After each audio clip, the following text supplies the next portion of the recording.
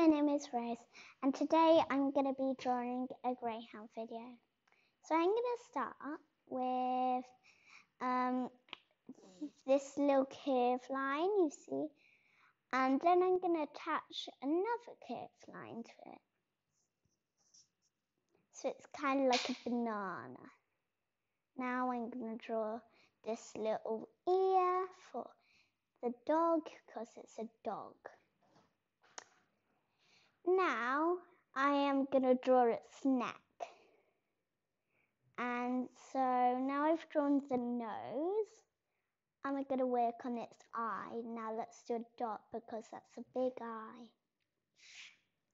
Now, starting on the legs. You see I'm going to work on with the body and now let's carry on with the legs. So these are quite thin, you see, so I'm just going to draw them thin. Right, now the paw is kind of like a lady's shoe, a high heel.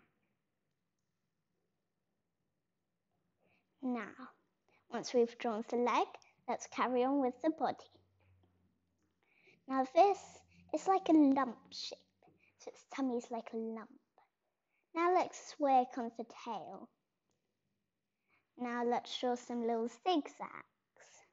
Let's come back in Let's draw the back leg. It's kind of big because my greyhound has big back legs.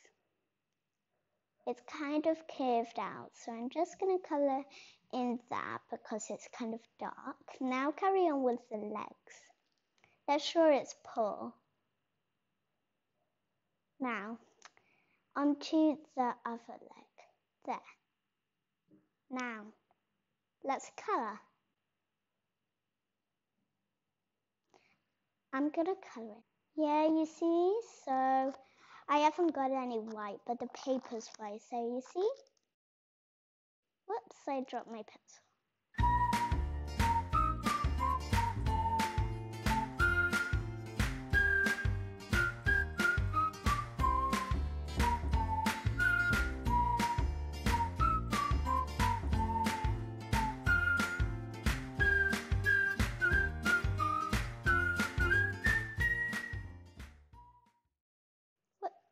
There's the eye. There's my picture. Thank you for listening and I'll see you next time. Bye.